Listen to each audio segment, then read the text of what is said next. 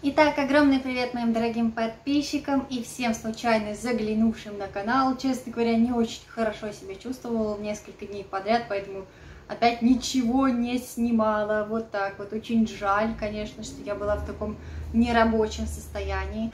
Вот. Кстати, рум-тур э, вот этой комнатки сделаю, надеюсь. надеюсь, мне снова не захужеет, и я сделаю.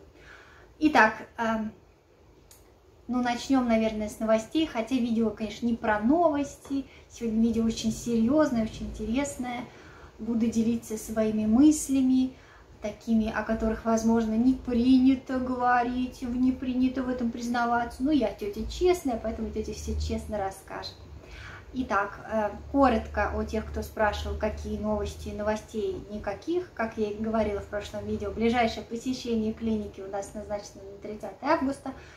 И тогда уже, ну, какие-то более-менее определенные новости появятся, потому что обещали, что, ну, вот уже можно как бы будет определить сердцебиение, и какая-то конкретика появится в плане моего положения, потому что, ну, несмотря на то, что мы не очень-то рано пошли на УЗИ, все равно оно мало информативно. Оно только показывает факт того, что да, есть беременность, и что она закрепилась в нужном месте. Все больше по ребенку никакой информации. Поэтому такая первая более-менее интересная, стоящая информация по ребенку появится 30 августа. Я надеюсь. Хотя он, мне кажется, немножечко налажался сроками, поэтому может, может и не появиться информация, он может ничего не услышать.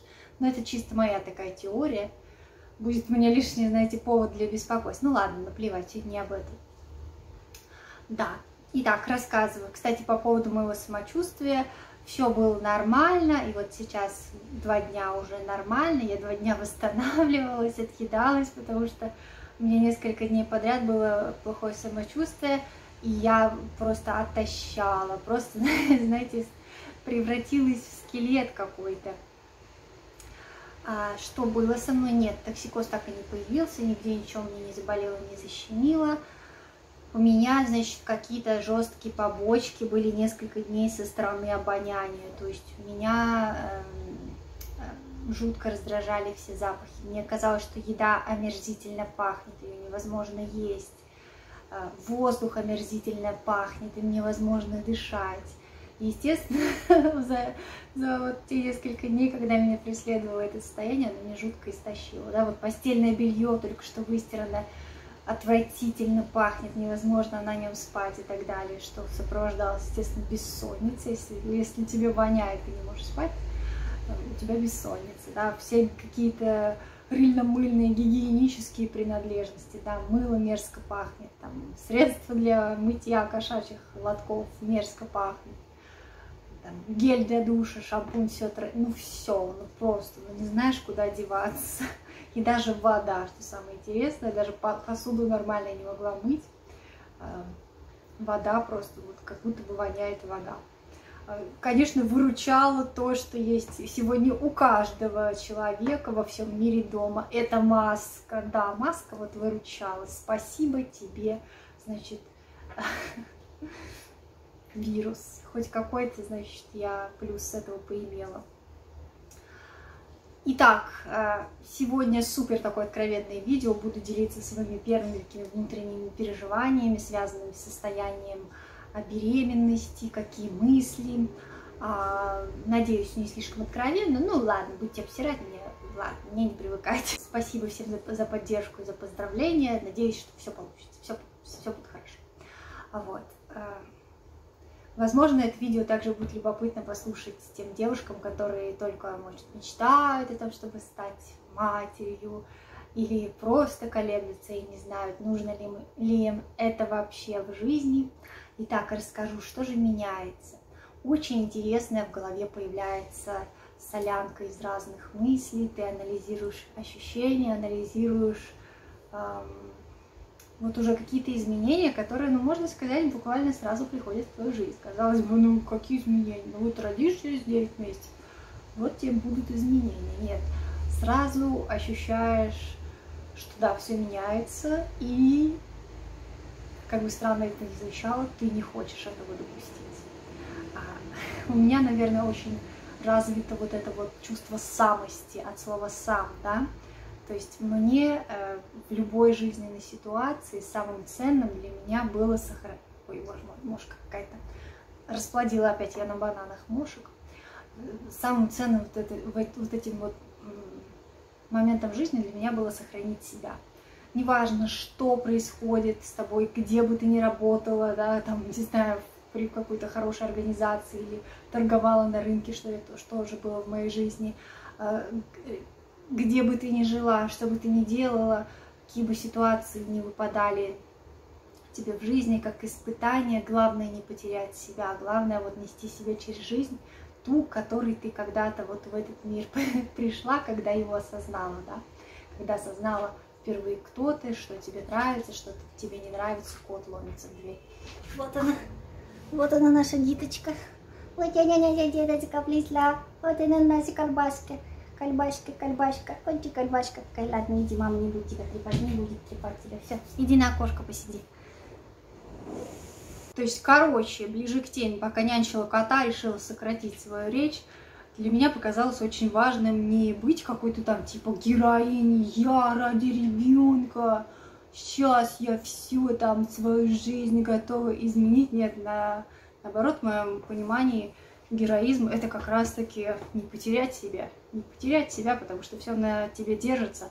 Знаете, есть такое интересное правило, которое знает каждый, кто летал на самолете – что, например, если ты летишь там с ребенком, ну или, не знаю, с каким-то там больным, болеющим, тяжело болеющим там, пожилым человеком, когда происходит какая-то внештатная ситуация на борту и выбрасываются кислородные маски, в первую очередь ты надеваешь маску на себя, а потом на ребенка. Есть вот такое правило, оно многим людям непонятно с морально-этической точки зрения. В смысле, в смысле, сначала надо ребенка спасать, сначала на ребенка надо маску. Нет, фишка этого правила заключается в том, что а, если ты потратишь вот это время на, на надевание маски на ребенка, ты можешь даже не успеть и потеряешь сознание от недостатка кислорода, поэтому ты должен сначала спасти себя, и потом, когда ты будешь в безопасности, ты спасешь всех остальных, да, потому что ты наденешь на ребенка маску, но ребенок не сможет надеть маску на тебя, да, и, соответственно, в перспективе ребенок останется без тебя. Поэтому сначала спасаешь себя, потом спасаешь всех вокруг. Только в таком случае ты полезен, да, когда ты, извините за выражение, ну, жив, как бы не сдох, да.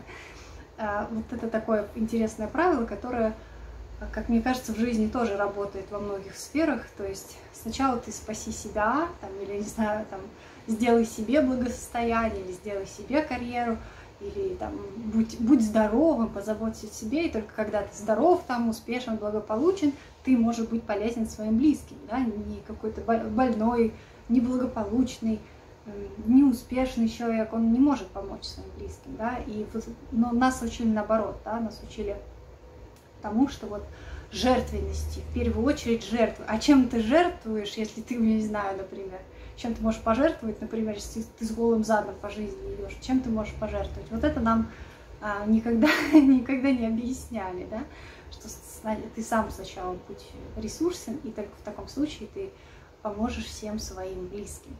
Если ты себя там потеряешь во время беременности, если у тебя начнутся какие-то психологические проблемы, если у тебя начнутся проблемы э, с, э, с мужем, да, проблемы с каким с, в отношениях с самой собой, да, то есть женщина же бывает, ну, как бы же мы не просто какие-то инкубаторы, там, не знаю, матка, просто матка на ножках, которая вынашивает ребенка, выполняя важную миссию. Ты по-прежнему остаешься женщиной со своими желаниями, со своими мечтами, со своими фантазиями, со своим видением себя, какая ты, да, и многим трудно принять, если они, пройдя вот этот путь, э, видят не то, что хотят видеть, да, видят себя какую-то постаревшую на несколько лет, уставшую, разбитую,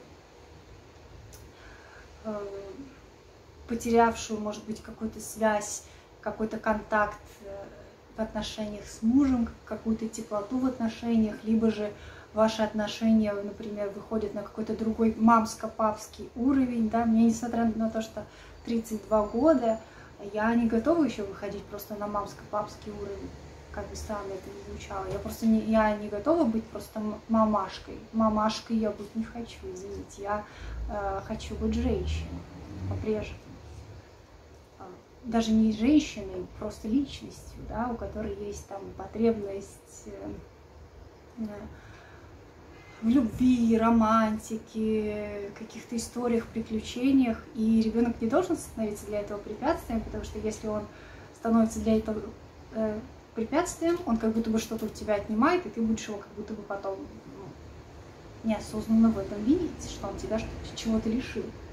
Хотя, может быть, это не очень-то его и вина, а вина ошибки твоей, а вина твоя, да, ошибка твоей стратегии, как ты выстроила вот эти взаимоотношения с миром, когда поняла, что ты находишься в положении.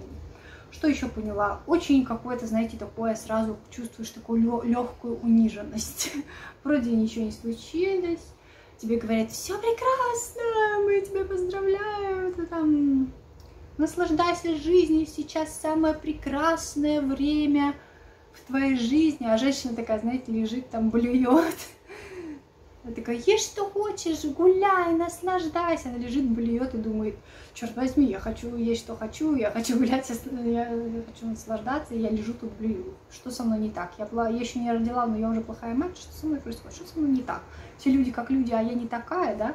И, возможно, вот эти вот наставления, советы со стороны других женщин заставляют женщину комплексовать и переживать по поводу своего состояния. Как же так? Может быть, у других по-другому, поэтому они так э, об этом говорят в приподнятом настроении. А у меня вот так, и что же, да?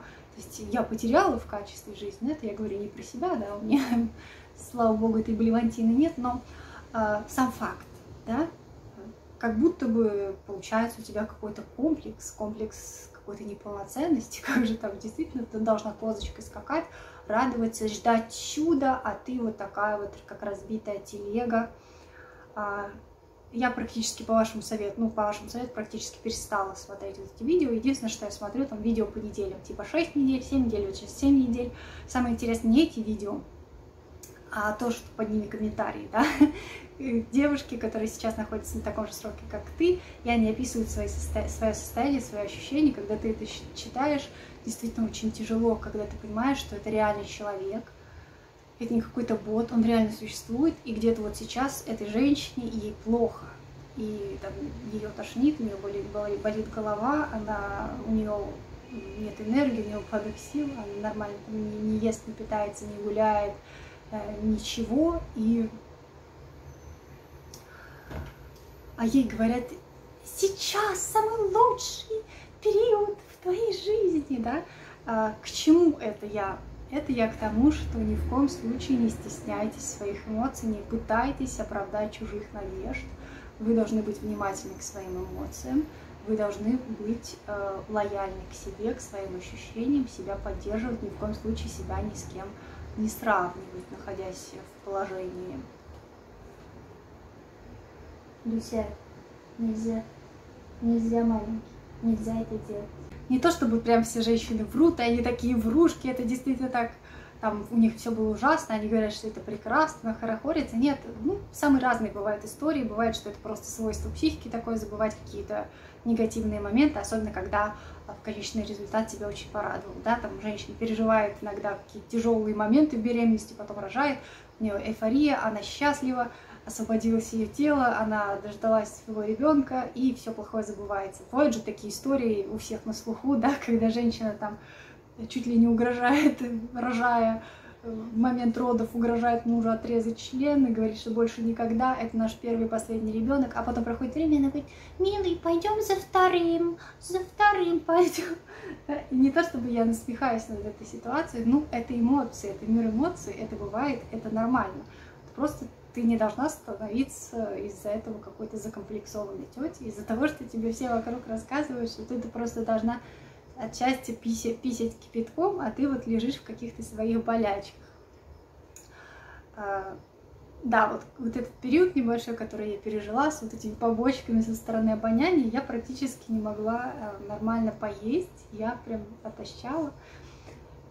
И это очень тяжело, когда ты буквально чувствуешь, что твой организм захвачен, ты сама себе не хозяйка.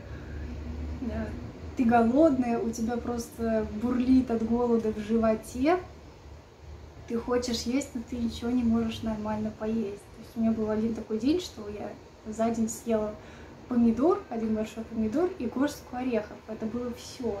Я постоянно вот эти несколько дней, когда меня преследовала вот эта побочка, я ходила с чувством ужасного голода, постоянным подвыванием в кишках, дайте пожрать, дайте пожрать, и при этом я не могла себя накормить.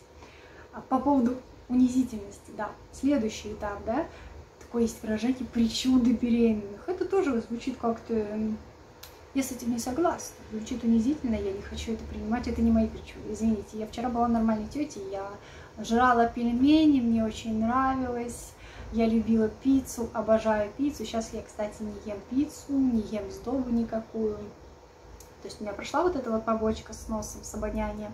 Но вот такие продукты, как пицца, как выпечка какая-то, вкусные булочки, я такого не ем. Сейчас почему-то организм мой это категорически не хочет употреблять.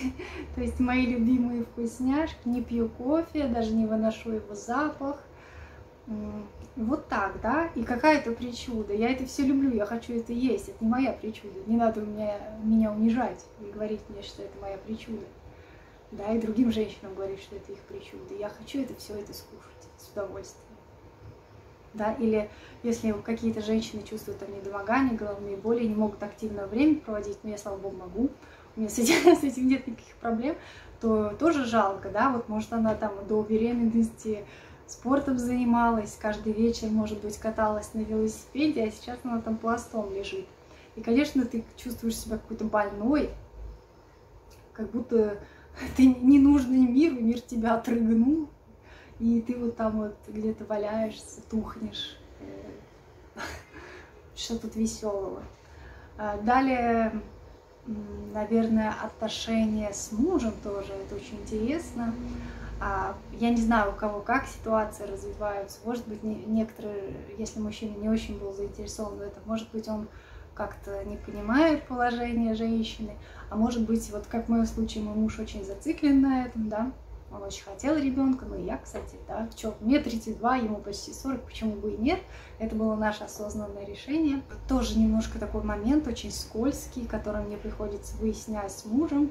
А, э, это то, что, ну, как бы я ничего не изменилась. Я та самая Люба, которую ты когда-то встретила, полюбила. И, пожалуйста, будь добр относиться ко мне именно так, как ты относился раньше ко мне, да. Не надо разговаривать с слишком много с моим животом, да.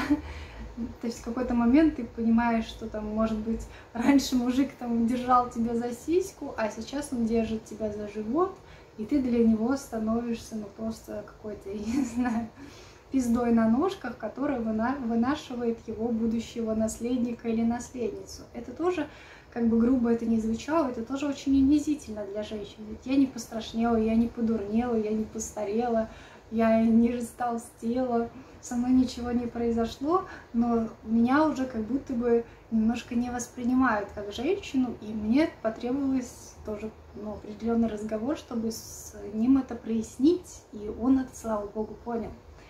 И это очень важный, кстати, психологический момент, этого не надо стесняться. Я вообще считаю, что, а, как бы странно это ни звучало, если вы хотите сохранять нормальную семью, отношения мужчины и женщины, они в приоритете. А, не надо то есть, да, мешать котлеты мухи. Ребенок это отдельно, и взаимоотношения, которые вы будете простраивать со своим ребенком, это отдельно. А ваши взаимоотношения, они остаются вашими взаимоотношениями. Да? Тут не должно происходить никаких из, изменений в худшую сторону есть вы, есть ваша любовь, есть ваша, ваши какие-то там, традиции совместные, а, есть романтика, есть какая-то вот ваше время да, уединения, то, как вы привыкли проводить его, как вы его любите проводить вместе. А ребенок это отдельно, да, с ребенком ты будешь выстраивать отдельные взаимоотношения, то ваш супруг будет отдельно, это отдельная песня, да, нельзя, ну как-то, как-то надо избегать вот этого слияния э, личности, личности женщины и личности ребенка, да, или, например, вокруг тебя начинает плясать э, начинают исполнять твои любые капризы. С одной стороны, ты думаешь, ой, как хорошо, а с другой стороны, ты думаешь, так, стоп, а сама по себе я разве не заслужила этого? То есть только теперь, когда у меня ребенок в животе, я это заслуживаю, а раньше я это не заслуживала. Разве раньше я это не заслуживала или как что? Только вот только потому, что у меня ребенок, да, то есть ты сразу начинаешь эм, обращать внимание на такие моменты, и это надо, не надо стесняться, это надо очень-очень быстро прояснять, даже если трудно. Там мне было трудно, потому что ну, с третьей попытки где-то муж догнал, о чем я говорю, да.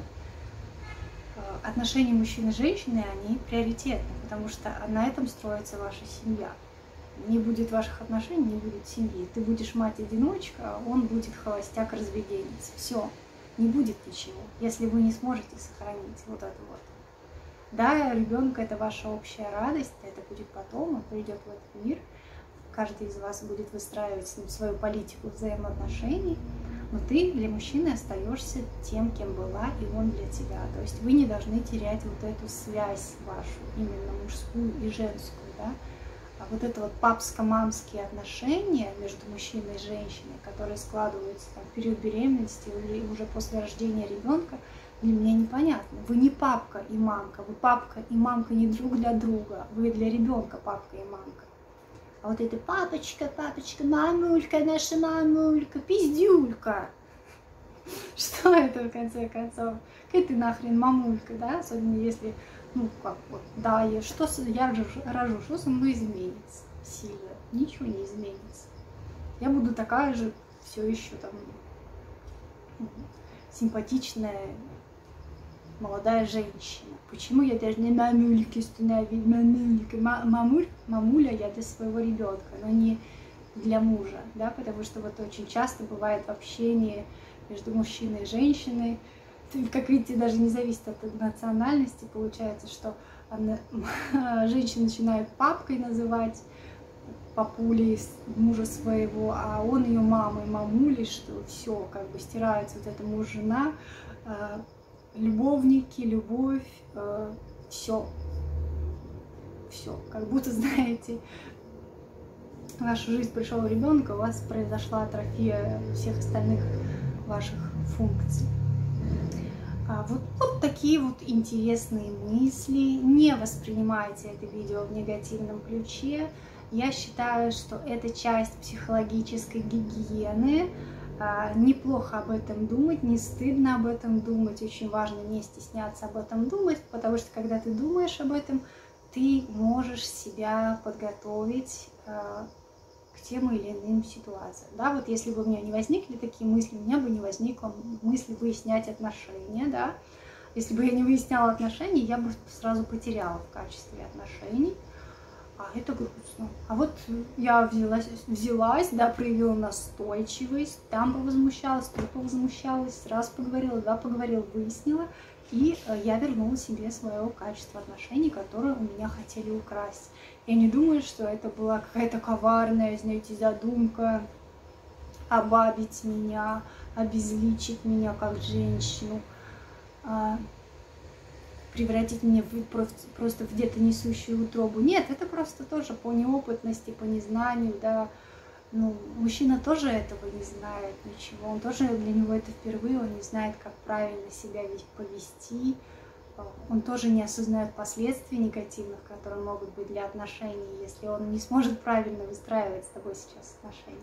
То есть вот так, очень много интересных моментов, и это вот э, видео получилось уже огромное, это вот только малая часть из того, что я озвучила. Очень много всего интересного происходит внутри. Надеюсь, что реакция на видео будет адекватная. Делитесь своими секретиками, какие вас мысли в период беременности посещали, возникали ли какие-то проблемы, пытались ли вы их решать или вы их замалчивали а какие после этого, ну, если силы есть признаться, какие после этого есть последствия, да, ну, вот что-то вы не вовремя не проанализировали, и теперь вот есть какие-то негативные последствия в вашей жизни из-за из каких-то неверных ваших решений. Итак, всем огромное спасибо за внимание, не забывайте ставить лайки, поддержите это видео, всех люблю, целую и пока-пока!